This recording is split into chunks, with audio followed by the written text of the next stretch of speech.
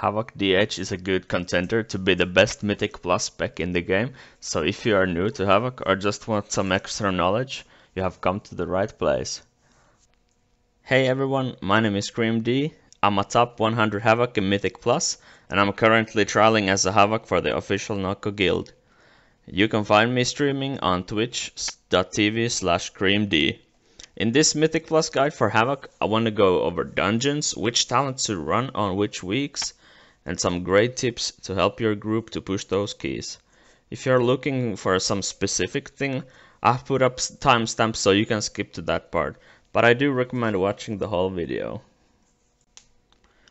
Alright, starting with talents, there are only two talent builds that I recommend in Mythic Plus. The Throw Glaive build, which focuses on Essence Break windows, Momentum and Soul Rend.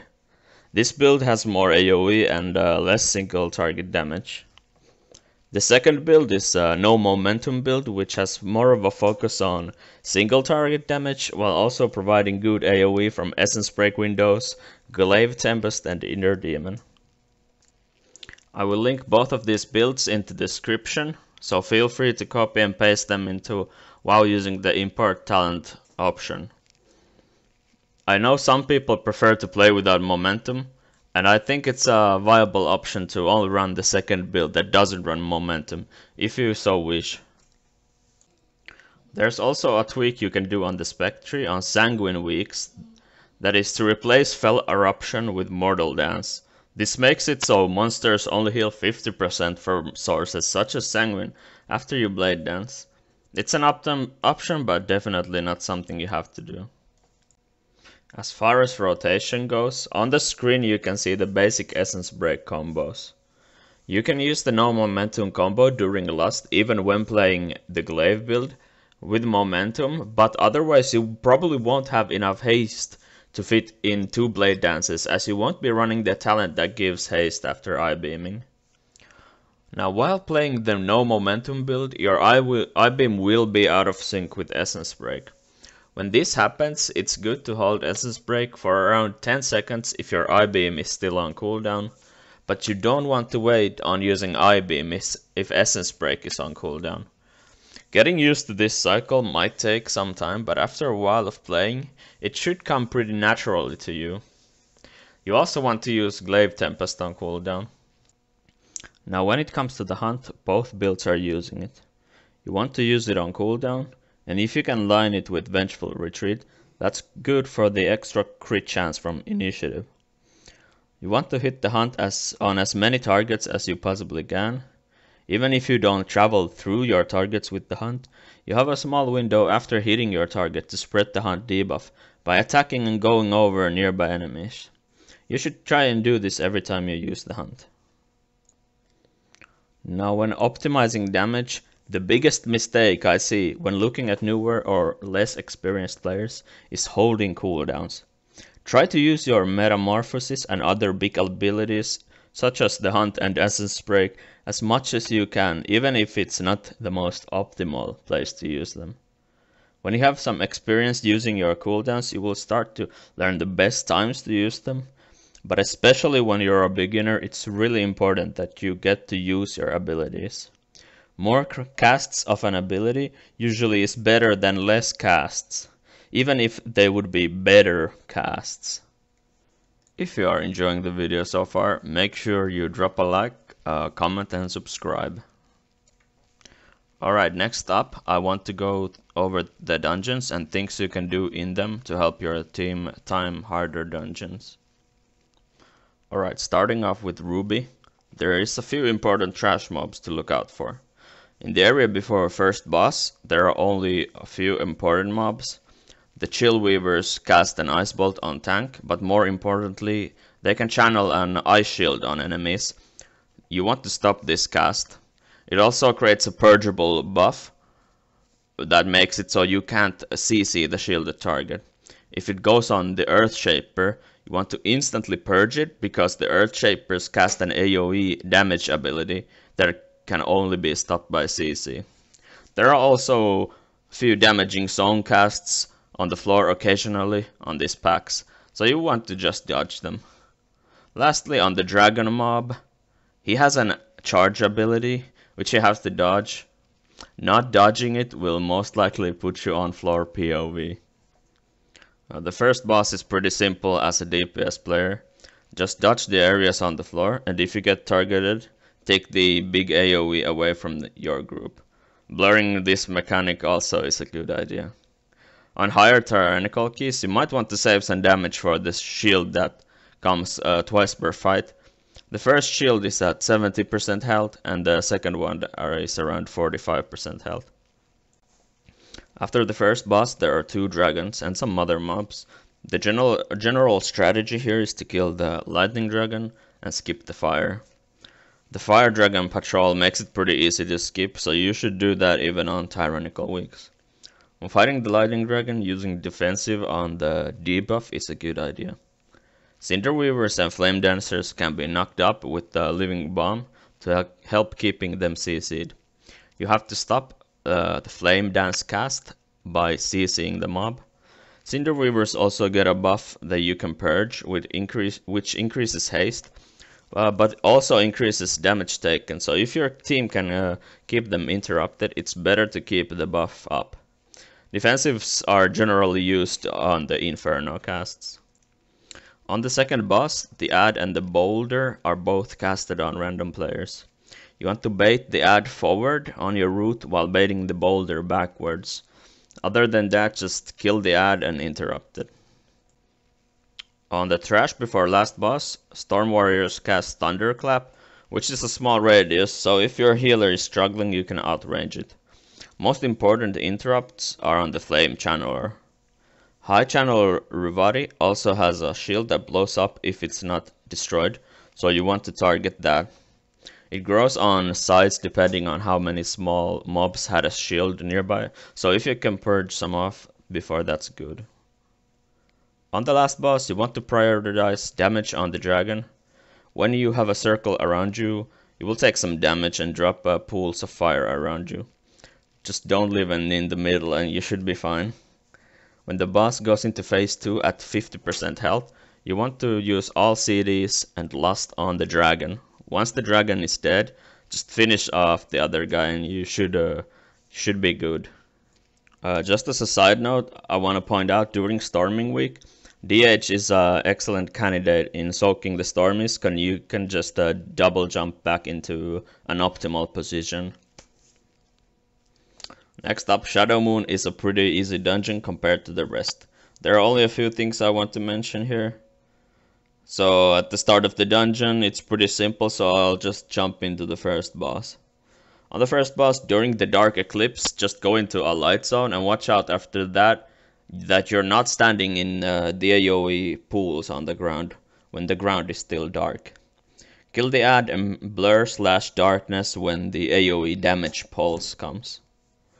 On the trash packs after that, the caster mobs are con constantly casting to buff the melee mobs. You can choose to not interrupt them, which makes the tank damage a bit higher, and the pack will take a bit longer, but uh, all of the channelers do nothing. If you interrupt them, you will have to keep ceasing and interrupting the casters.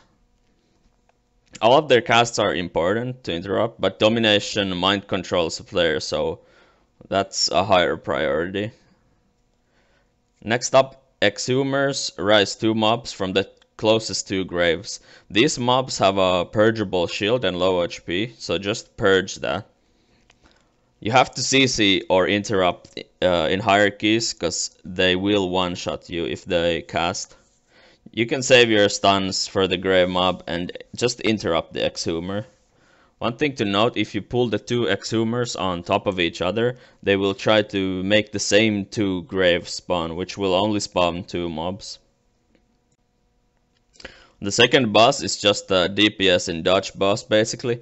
You will get sent to a spirit realm where you have to kill a weak ad and click the corpse. This gives a 40% damage buff, so maybe you can try saving something for that moment. After defeating the second boss, there is a grave that will spawn a mob, unless you trigger it during the boss fight. So you should uh, do that right, uh, right as the boss is about to die. the pack after that is the same after first boss. On the parts with the bats and spiders, it's crucial to interrupt every spider cast. One melee kick can handle one spider on its own. The bats can also be CC'd, uh, and they have a, le a less important cast as well. Before third boss, the worms just do a frontal, so don't stand in that. Third boss does a suck, which throws you in the water and unless you stand in the grey AoE the boss shoots. You should tell your team to stack in melee to bait the pool so you can DPS. Kill the ads, dodge the frontals, and that's about it. The boss hitbox is also a bit weird, so some of your AoE abilities might not hit it. Surely Blizzard will fix it soon. The void spawns before last boss uh, do high AoE damage and spawn missiles that hit the ground. Use defensives and burst one of the void spawns down with CDs. You can also line of sight the AoE in higher keys. On the last boss, a ranged player has to bait the AoE circle away from the boss. It does drop off damage, so the further you are the better. Then just dodge the AoE cast from the boss and focus one ad on the wall. If you get hit by the wall, use blur and try to leave it, but uh, you won't, you probably won't leave it. Uh, next up, Nokhud Offensive. Uh, Nokhud Offensive is a longer dungeon with a few hard bosses. Uh, on the Dragon Trash, you have to interrupt Disruptive Shout, not stand in War Stomp, and CC Rally the Clan. Other than that, dodge the AoE and don't stand in front of the Lance Masters, as their melee attack is a cleave. The Dragon Boss has an ad you have to kill or CC. Don't stand in the Stomp cast, and as soon as the Lance is ready, you should press it. Thundering can be risky here because of the Stomp, so make sure you clear safely. The trash before Storm Boss consists a lot of casters. You want to prioritize interrupting or seizing the Tempest cast. Just stun and interrupt the Storm Bolts. And the Primalist also spawn more trash, so seizing that cast is good. The Storm Shield mobs cast a shield that you can purge. Around the boss is also a patrolling Kodo. If you're targeted by the Chain Lightning, on that pack, you want to walk out uh, of your team as it will chain otherwise. The packs with the totem also spawn orbs that you can pick up for a small damage buff. During the elemental boss fight, you will have the same orbs. You want to have 10 stacks of the orb for as long as you can. Your team should uh, spread and soak the orbs evenly. The damage part uh, of the boss is pretty chill on DH as you always have a blur up for it. The boss, boss also casts Energy Surge, which should be purged ASAP. I recommend emphasizing this mechanic on your boss mods, so you don't miss it. Uh, the trash leading to the twin boss mainly has some AoE uh, areas on the ground that you have to dodge, and some interrupts. You can also stun most of the mobs and imprison some. If the Swift Wind cast goes through, you're playing Blood Elf, you can uh, Mass Purge with Ar Arcane Torrent. Otherwise, the Deathbolt Volley is one of the highest prio casts to interrupt. The Twin Boss has one dangerous part, where it can shoot a player right after Gale Arrow. You want to use health pots and defensives to survive this part. You can also stack all of the Gale arrows to make dodging the tornadoes easier. Other than that, it's only dodging uh, AoE and dealing damage for DPS. There is a trick uh, in getting onto the next boss by flying where I'm flying on the screen now. It saves some time and that's why I recommend killing the twin boss last. Before the last boss there are two big trash mobs. These get pulled with the boss unless they enter combat before the boss gets pulled. There you can Feign Death or Shadowmeld, etc. the mobs uh, and they will reset. So you can kill the boss without killing them. Uh, I don't recommend doing this unless it's discussed with the group before, as it does limit the boss room by quite a bit. And pulling them during the boss fight might cause a wipe. Uh, the last boss has two phases and an intermission.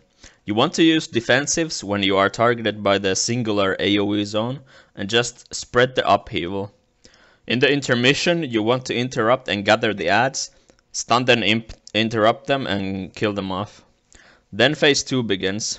In the second phase, the singular AoE zone also pulls everyone to it, and upheaval leaves some damaging zones behind. There will also be lightning circles on the ground, similar to thundering spawns. These probably will one-shot you, so you want to dodge them. Alright, next dungeon is Temple of the Jade Serpent. This is a pretty quick one. Water Speaker's tidal burst has to be interrupted. A few Hydro Bolts probably won't wipe the group, but the tidal burst will. Corrupted Living Water casts Tainted Ripple, which does a lot of AoE damage.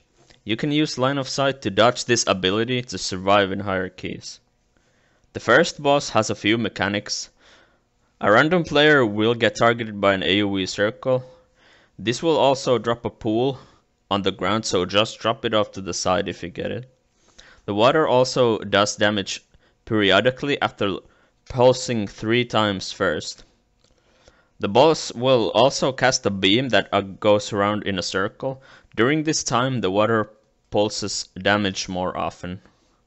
The boss also has a Hydro Lance cast, so just interrupt that. Just try to stay on the floor and don't panic. The trash going into the next boss can be tough.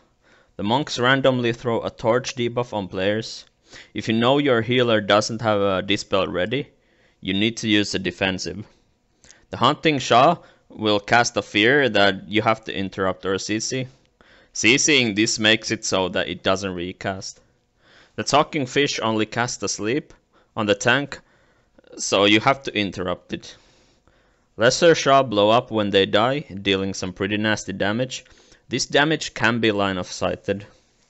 The bird does like an AoE pulse around itself, you can dip in and DPS or use Blade Dance outside of the range of the AoE to still deal damage. On the last pack, every ability is best CC'd or interrupted. If the beetle gets golden barrier cast off, you want to purge it as soon as you can. The Hozen's cast can also be soothed if it goes through. The next boss is pretty simple. Just DPS one boss to around 7 stacks and swap targets. You can do some cleave, but overdoing it might make them reach 10 stacks, and then the boss will get immune to damage.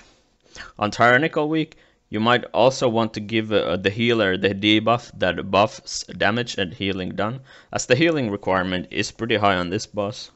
There's also a strategy to DPS one of the bosses to maximum stacks before switching. It's probably a bug, but that stops damage from that boss. Next up, the Mistweaver's cast is very important to CC or interrupt. Don't stand in the leg sweep or the frontal from Shambling Infester. Other than that, this trash is pretty simple before the first or third boss. Now the third boss is a tank and healer check, as long as no one stands in the AoE.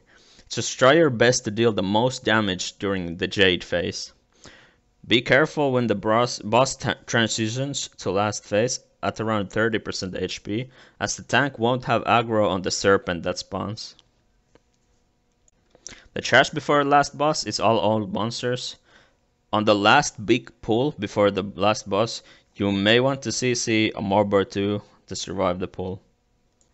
Now on the last boss, you want to spread during the normal phase. Use a defensive if you see the healer dispel uh, the other person before you. A warlock using imp or a priest with mass dispel also helps a lot on this boss, as they can help out with the dispels. On the intermission, you just want to stack, CC and burst down the ads, and that's about it. Uh, next up is Academy. The biggest hurdles in this dungeon is uh, the tree boss and elemental boss. For damage, you want to pick up the black dragonflight buff, or uh, for survivability, the verse or healing taken buff. On the trash before elemental boss, you have to stop the mystic blast from the scepter and the lecture cast from Unru Unruly books. The battle axes also do a lot of tank damage, so stunning them uh, on their cast can help out. On the boss you want to use Blur if you get Mana Bomb, while dropping it on the side as it leaves some AoE on the ground. Soak the orbs before they reach the boss, but watch out cause they give a stacking damage take and increased debuff. The knockback ability also drops an AoE circle every second for 3 times uh, at your location, so make sure you don't get hit by those. During tree boss, make sure you don't panic, stack on the tank and rotate during germinate. Cast without running ahead, uh, and it should be a pretty easy boss, it has gotten nerfed a few times. Also make sure you stand in the green AoE from the big ad to clear the dot. Alright, during the bird boss, not getting hit is crucial. And if playing momentum, make sure you don't get hit by any of the fire circles or tornadoes. They will one-shot you and make the fight a lot harder. Every cast of Deafening Screech does more damage and the only way to reset it, the damage is by throwing the balls into the goals, which you can only do two times in a fight, so it's a DPS check. Just don't die and you should be fine. When you throw in the balls, the fire goal, the boss will get stunned and get a damage take and increase debuff for around 10 seconds. Fire AoE will also start spawning. Throwing balls into the other side will make a permanent wind effect, pushing you back, and uh, make tornado spawn. There will also spawn some haste buff orbs around the arena, so make uh, sure you pick one up. In the last trash area, you can stun the AoE from the mobs or use Feral Sigil on them. Make sure you interrupt arcane missiles also. Arcane Orb can also be used to damage the mobs, so make sure you use it on that. The last boss is pretty easy. You have to dodge the area damage and breath from the boss. Other than that, just make sure you don't disband your group like Now did. Because that makes you teleport out of the dungeon and probably throw the key. For Halls of Valor, it should be noted, every caster in this dungeon can be interrupted by CC, with one exception being the Rune Carvers. They have to finish the startup channel for Etch before it can be CC'd to stop the casting. One of the most important casts is Holy Radiance from Mystics, which heals all enemies by 30% in an area. The Shield Maidens have a really big frontal range, and if you're not careful you might get killed by them. It should be noted that Sentinels have an aura which prevents all CC and interrupts, so pulling these with the casters, especially Mystics, is a very bad idea. The first boss can be can only kill you with Dancing Blades or the Dragon's Lightning Breath slash Ball Lightning, so dodge those and you're good to go. A good tip if you want to double pull the two big trash mobs before Hyrja is to pull the Sanctify mob when the shield is active. That way their casts are staggered and you can deal with the mechanics separately. For Hyrja, you want to blur and darkness on the lightning shield part. Other than that, just dodge the shield of light frontal, sanctify and DPS boss. On Fenryr, you can dodge the bleed jump by fel rushing away before it reaches your location. This will help out the healer a lot if you don't have a rogue or hunter to bug out the jump. The kings can be chain pulled by throwing beer on an inactive king and then dragging the active king on top of him. The beers can be fall in the hall. This will help uh, a lot in smoothing out that part of the dungeon. On the first boss, God King Skovald, hide behind the shield and don't kill the boss during Ragnarok.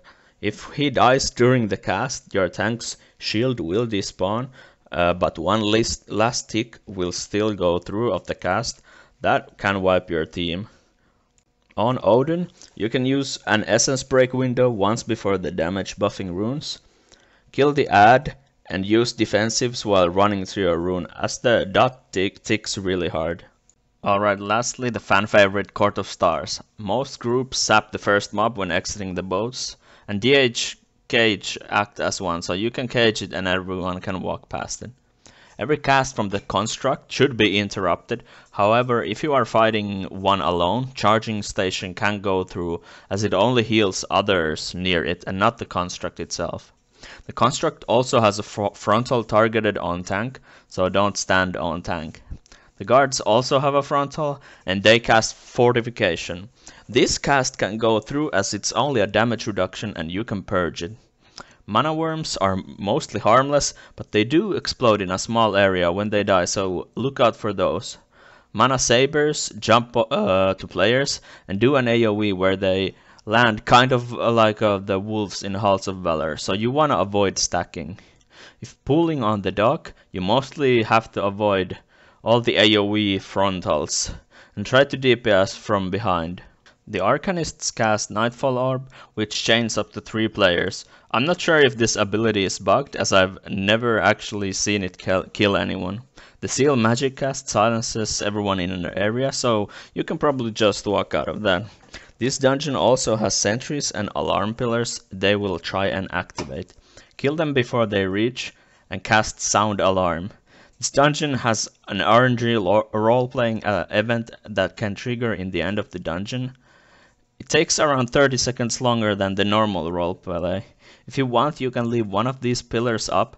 This will cancel the possibility for the long RP, but uh, also during the first boss, the boss will summon an ad per pillar active. As a DH, you can just imprison the ad and it will do nothing for the entire fight. Just remember to apply imprison on it so it doesn't run out. If a sentry manages to activate a pillar, it cannot be deactivated. Bound energy mobs just cast an AoE damage zone, so don't be in it. The first boss has three abilities, two AoE zones that you dodge, and one magic debuff, Arcane Lockdown. To remove this, simply jump three times. On Tyrannical Weeks it will wreck you, so try and be quick with it. As an alchemist or rogue, you can also poison the boss's file in the boss area to make the boss die at 25% health instead of getting a buff. Going into the second part of the dungeon, there's a lot of options. Most importantly, you have to kill the three boss ads by killing enforcers or using different items found on the map. These items require different professions, specs, or races to use. There are also some items you can use to buff your entire team for the rest of the dungeon. Try to look for the Fell Orb, the Book, or the Flower as a DH. Uh, you can also look for the Nightfall Orb if you are a Blood Elf. Most important mobs to look out for here are the Enforcers. They cast Fel Detonation which you can line of sight to avoid all damage. The Imps cast Fireballs that can easily one-shot a player. Try and save some damage and uh, AoE stun or Fear Sigil for these. In addition, the Inquisitors need to be kicked on Searing Glare and stunned on Ice Storm. On the second boss, everyone needs to stack to bait imps from Infernal Eruption. Just dodge the AoE, kill the imps, and interrupt boss. This is also a good boss to Bloodlust on Tyrannical weeks. To fight the demon in the next part, you can use Spectral Sight after your team talks to all 5 chatterers. This will help out a lot as no one has to exhaust their brain trying to find the right NPC. When fighting the miniboss, make sure you use stuns or fear sigil on the hypnosis bat to stop its cast. It will die out soon after it's been stopped. On the last boss, you want to dodge all lines as they deal heavy damage. We'll also want to use defensive on a slicing maelstrom. Azure Vault is probably my least favorite dungeon. In here you want to avoid whelps at all costs, unless you plan on pulling the packs they wake up. The first pulls have a lot to interrupt. You can CC the mob instead of interrupting as well and it will have the same effect. On the first boss, the most important part is to clear all of the trees with explosive brand. If you leave trees up, the stump will do extra damage and on higher keys, it will wipe you very easily. If you have any trees up when the stomp is happening, make sure you use a defensive ability to survive the hit. Just pat on the ads. just kidding, just kill the ads with natural cleave and watch out for the AoE they drop. On the platforms, elementals cast Waking Bane. This will make a player go to sleep, so make sure you interrupt or CC these. Crystal Furies will cast Piercing Shards, which is a frontal. You want to stop most of these by stunning or fear sigilling there. You can also purge their buff or leave it up if there's a mage who can spell steal it. The big guys do all kinds of AoE spells, which will get even more scary if you don't interrupt Runeseal Keeper's Icy Bindings, which roots your party for a long time. On the lower platform there are also arcane constructs which will just do a frontal on the tank. Make sure you don't get hit by it while the tank is dodging them. Before the second boss, you want to clear most of the room. There's nothing new uh, here for DPS except the big Ludnan. Just watch out for his frontal while dodging the AoE on the ground.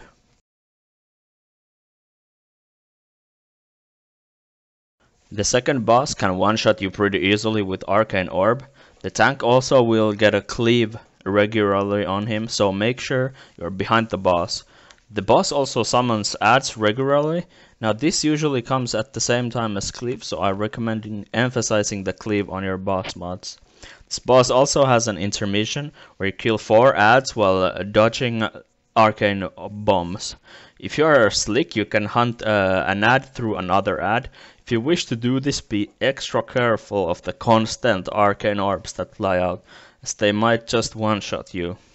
These phases repeat until you defeat the boss. There is a strategy where you pull everything before second boss and jump down straight to third. I'm not sure if this is actually an efficient strategy, but I just wanted to mention it. The next trash rooms are very easy compared to the start of the dungeon. Uh, you have to just dodge zones on the ground and do damage. Going into the third boss, you want to put frost bombs on the side of the circle. If you are feeling fancy though, you can also drop them out of the circle. This way you will only take damage from the initial hit and the room will be a bit more spacey. If targeted by Icy Devastator, just move away from others, as you will pull AoE damage to nearby targets. This boss will also cast Absolute Zero on a timer, during this time boss has a 99% damage reduction, so just go into a shield bubble with your team. Make sure you go into the same one. I re recommend not using Metamorphosis on the pool. The last boss is in my opinion the most dangerous. Moving puts a slow debuff on you which stacks. Arcane Eruption spawns crackling vortexes which can kill you very easily if stood in. At 75, 50 and 25%, boss will also drop detonating crystals, which have to be destroyed quickly. As a melee player, you have to be extremely careful that you do the most damage to the crystals while avoiding the vortex zones. They seem to be affected by healing aggro and probably move towards healer, but I'm not 100% sure on this.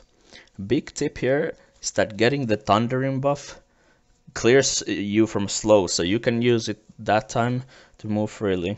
Hello if you skipped some of the dungeons or all of them. Uh, or if you watched them, now that all the dungeons are out of the way, let me give you some tips. Use your CC to stop casts. Don't just randomly stun. Most of the mobs will get interrupted and stop casting just like you would have interrupted. Have a reason to press, press your buttons instead of just uh, DRing the mobs. Crowd control has a diminishing returns, that's DR. If you have a stun ready, a heavy comp, and randomly three people stun at the same time, every mob will be stun immune for the next 20 seconds. Try as much as you can not to overlap CC. I know this will be hard in pugs, but try to look at how your team plays. If a monk is stunning the first cast Every time you pull a pack, try and play around it. Thundering clears slows, and since Eye Beam and the hunt, uh, they are slows, if channeled during thundering, you can fully move in them. You have to predict using Fear Sigil as it's slower than most casts. I will link a weak aura in the description to help with this. It's not 100% correct, but it should get you started at least. Just playing will also give you some experience on how to use uh, Sigil of Misery. Activating Metamorphosis stuns, but it also makes you immune to damage and effects for a short time while in the air. Next up, add-ons I think you should be using to get better. First up, uh, weak auras. For Demon Hunter weak auras, I'm using the Afenar DH set. You probably also want some weak aura package for Mythic Plus dungeons. I'll uh, chuck them in the, the description. Also, you'll want a nameplate add-on. I'm using Plater and I have a version of Ceverion's profile that I have altered. I will link them both in the description. You don't have to use what I'm using, but I think uh, it makes playing trash easier. Now, you want boss mods? I prefer using BigWigs and LittleWigs, but uh, DBM should work just fine. And details, of course, so you can uh, see how much more damage you are doing than the rest of your team. Next up, a few add-ons that I like and uh, they are not required in my opinion. Mythic dungeon tools are a great way to plan out your routes or uh, use already existing ones. I also like Omni CD to see my team's cooldowns. I have it so I only see interrupts at the moment, but uh, it could be configured to see offensive cooldowns and stuns and etc. And pre-made groups filter is great for pugging to filter groups. If you have any more questions or think I missed something important, please leave a comment and uh, have a nice day.